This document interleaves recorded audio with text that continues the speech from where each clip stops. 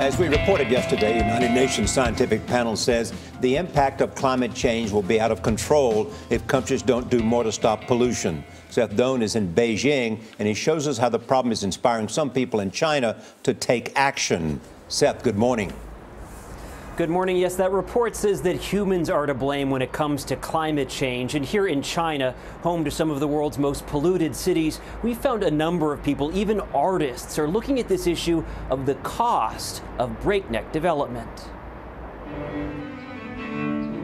The masters from one world create a soundtrack to ink the master works of another. 33 year old Yang Yongliang was classically trained in the ancient art of Chinese calligraphy. You just moved to the studio? Yeah, yeah, yeah. At his Shanghai oh, studio, his own work hangs on the walls. It evokes a serene Chinese landscape, the way nature intended. But look closer. This is Shanghai stacked together and made to look like a mountain. Yes. Everything from the trees to the jagged cliffs are created from images of today's China. Here it looks like a rocky island, but it's actually skyscrapers. On large computer screens, Yang zooms in to reveal how he layered thousands of tiny photographs to create and comment on another world. The development of our cities is at the expense of nature, he tells us. Yang takes pictures in cities across China.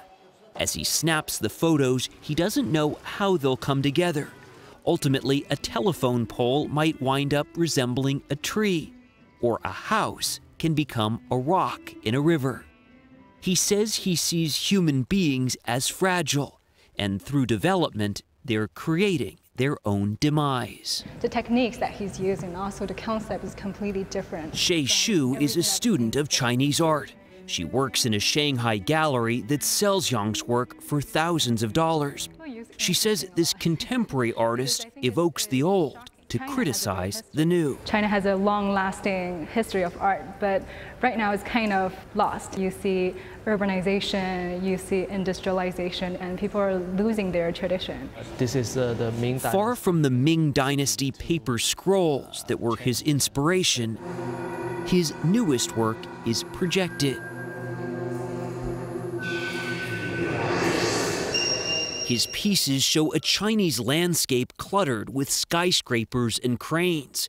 Yang says good art should awaken inner emotions. I want to make people reflect, he says. Modern life is comfortable and convenient, but we rarely think about what we exchange for that.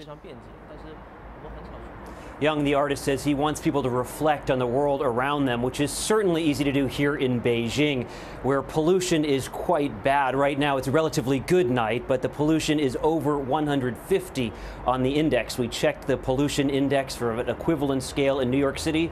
That number is eight. Nora? Wow, incredible story. Seth, thank you so much.